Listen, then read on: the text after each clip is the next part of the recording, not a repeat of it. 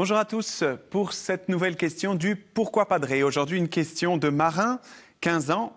J'ai entendu parler du scapulaire. Qu'est-ce que c'est? Marin, cette question, je l'ai eue plusieurs fois aussi dans le collège où je suis aumônier. Le scapulaire dit du mont Carmel se rattache à cette montagne de Galilée liée à la geste du prophète Élie dans le livre des rois montagne sur laquelle se sont installés au XIIe siècle des ermites qui vont fonder l'ordre du Carmel, ordre religieux consacré d'une manière particulière à la Vierge Marie. Et peu de temps après, dans la persécution et un temps de grand questionnement pour l'existence même de cet ordre, qui pourtant est bien vivant encore aujourd'hui, le prière général de l'ordre, au milieu du XIIIe siècle, Saint-Simon Stock, se tourne vers la Vierge Marie de manière un peu suppliante euh, et reçoit d'elle ce don du scapulaire comme promesse de sa protection. Le scapulaire, c'est un vêtement. C'est l'habit de la Vierge Marie en quelque sorte, composé d'un long manteau, d'un long morceau de tissu à l'avant et à l'arrière qui se rejoignent sur les épaules.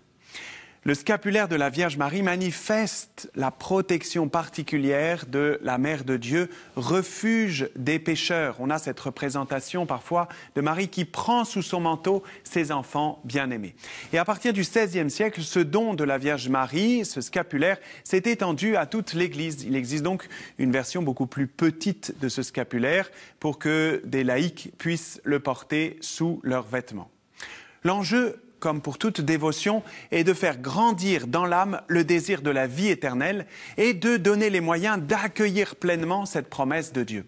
Ce vêtement, en le portant, a comme premier bienfait de rappeler à celui qui le revêt la réalité des fins dernières.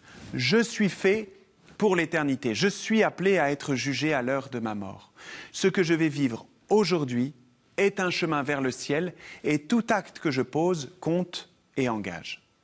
Ce chemin vers le ciel qui m'est promis, donné par la grâce du baptême, ne se fait pas cependant sans l'option possible du refus, celle de l'enfer. Nous n'aimons pas parler de l'enfer et de la damnation des âmes, mais si la miséricorde de Dieu est immense et grand son désir de nous rassembler dans la joie éternelle, nous ne pouvons nier ce risque dont le Christ ne cesse de parler dans son enseignement, le feu éternel. Là seront les pleurs et les grincements de dents.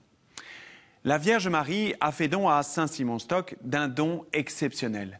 Elle s'est engagée à ouvrir en quelque sorte la porte du ciel à ceux qui mourront revêtus du scapulaire, veillant dans sa protection maternelle à ceux qui ne meurent pas en, en état de péché grave.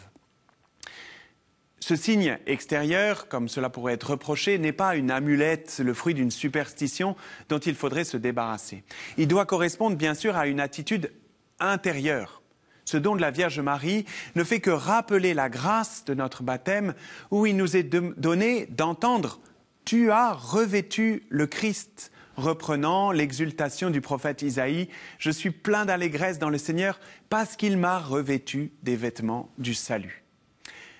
Il est étonnant de voir le nombre de personnes qui, au cours de l'histoire, ont dû leur salut à cette maternelle protection de Marie.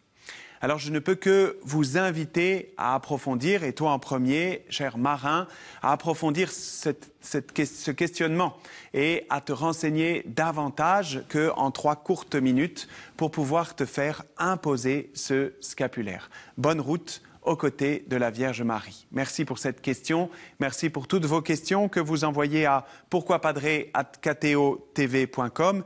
Vous retrouverez cette vidéo ainsi que toutes les autres sur le site de KTO. Soyez bénis et soyez saints.